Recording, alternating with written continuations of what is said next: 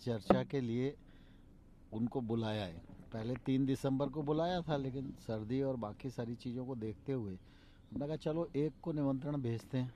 आज आएँगे, उनका स्वागत।